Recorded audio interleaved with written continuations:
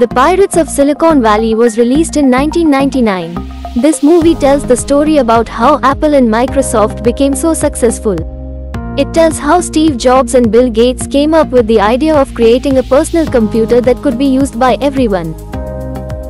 The movie came out in 2014 and it shows the invention of the world's very first computer by Alan Turing and his team. It shows how at the end of the movie Alan and his team were able to come up with a way to decode the German Enigma code. The Internship This is a movie about two adults Billy and Nick who lose their jobs and then apply for Google's competitive internship program.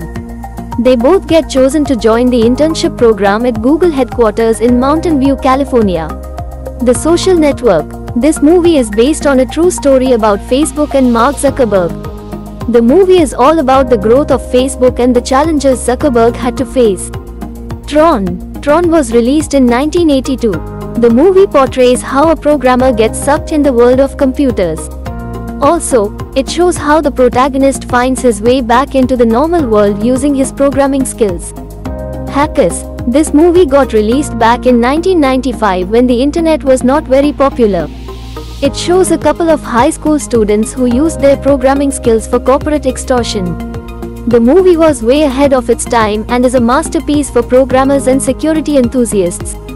Antitrust. If you want to learn about the dirty side of the software industry, this can be your take. A young programmer gets a job in a large software organization but later finds out that something isn't right in there. The programmer then uses his programming skills to find out the issues. Jobs. This is the biopic of the legend in the world of computers, Steve Jobs. Indeed, a very inspirational movie. This movie not only shows the technical skills of Jobs but also his vision of changing the world.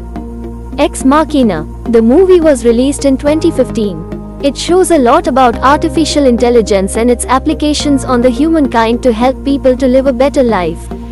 It depicts the struggles of programmers in developing software and also shows the harmful effects if not used in the right way. Matrix series. Released in the year 1999, Matrix is a science fiction film that is loved by all.